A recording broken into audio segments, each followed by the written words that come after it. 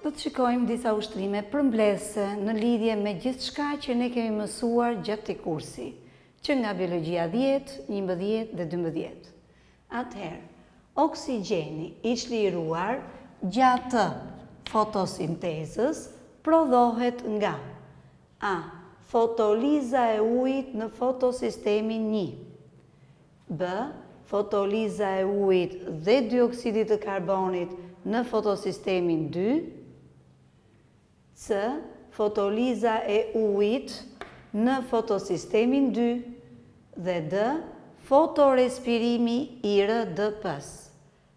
Cila alternativë është e saktë?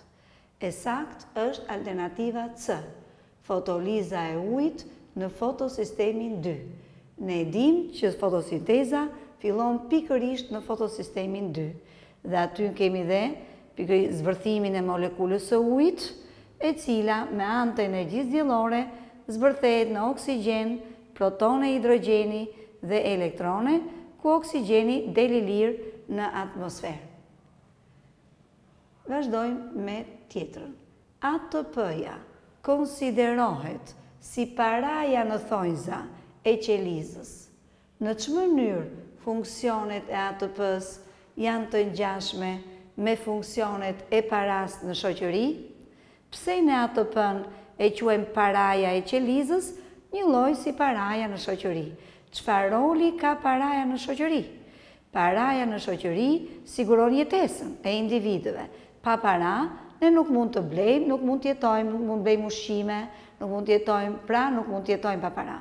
Ashtu si ne, shoqëria, nuk mund të jetojmë pa paranë, edhe qeliza nuk mund të jetojë pa ATP-në. ATP-ja është paraja për qelizën. Pse? Sepse ATP-ja është burimi i energjisë, ajo është molekulë energjetike për qelizën. Dhe nëse nuk ka ATP, atëherë nuk mund të ketë energji kur qelizës i duhet për proceset e saj jetësore, Për rrjedhojë, ajo nuk mund të jetojë, nuk mund të kryejë funksionet e saj. Pa energji, qeliza nuk jeton. E pra, molekula, që është monedha energjetike e qelizës, është ATP-ja. Prandaj ne ATP-në e konsiderojmë si paraja, e krahasojmë me paranë, e, që rolin që luan paraja në shoqëri, atë rol mund të luajë ATP-ja për qelizën. Tjetër, krahasoni enzimat me koenzimat. Kemi folur për enzimat, që janë molekula të cilat rrisin shpejtësinë e reaksioneve kimike, quhen ndryshe katalizatorë biologjikë. Po koenzimat çfarë janë? Koenzimat janë molekula të ngjashme me enzimat për sa i përket rolit të tyre, ato i bashkohen enzimave për të rritur shpejtësinë e reaksioneve kimike. Si koenzima, zakonisht shërbejnë vitaminat, NADI, FADI, po ku ndryshojnë nga njëra-tjetra?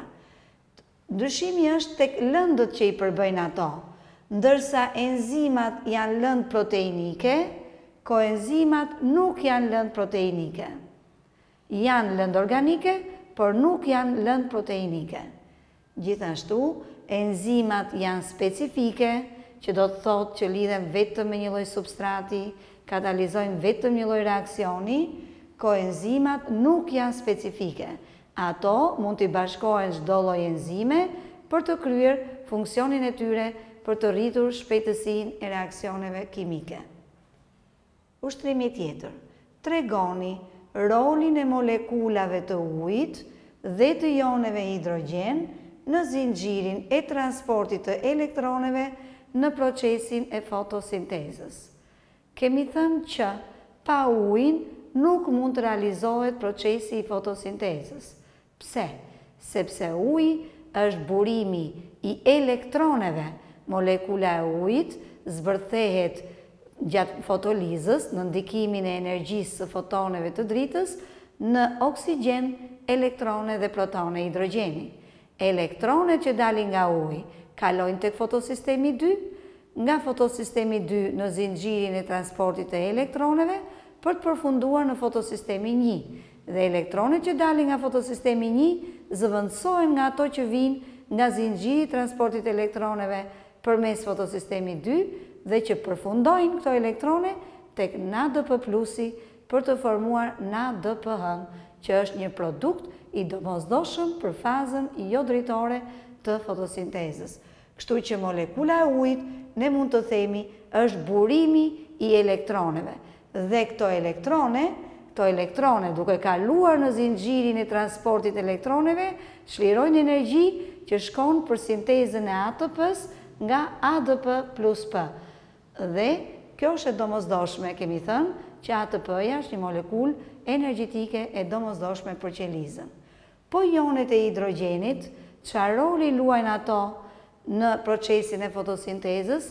Protonet e hidrogjenit janë ato që lëvizin sipas gradientit elektrokimik, Dhe, duke e zhvendosur, ato çlirojnë energji që shkon përsëri për sintezën e molekulës së ATP-së. Kalojmë tek ushtrimi tjetër. Qeliza e një gjallese eukariote ndahet me mejozë. Në fund të anafazës, numri i kromozomeve është gjashtë. Në fund të anafazës së parë, numri i kromozomeve është gjashtë. A skematizoni anafazën e parë, metafazën e dytë dhe pika C sa është numri i kromozomeve që do të ketë secila qelizë në fund të telofazës së parë? Atëherë, përderisa qeliza paska gjashtë kromozome, atëherë themi që Në skematizoni anafazën e parë. Anafaza e parë do të jetë kjo. Në fund të anafazës së parë, ajo ka gjashtë kromozome, të cilat janë vendosur në dy skajet, në dy polet e qelizës. Një çift kromozomesh homolog është ndarë, njëri ka shkuar në njërin pol, tjetri ka shkuar në polin tjetër. Po kështu dhe çifti tjetër që e kemi shënuar me ngjyrën bojëqielli, po kështu dhe çifti që e kemi shënuar me ngjyrën e bardhë. Kjo është skema që i përket anafazës një të ndarjes me mejozë të një qelize me gjashtë kromozome. Metafaza dy.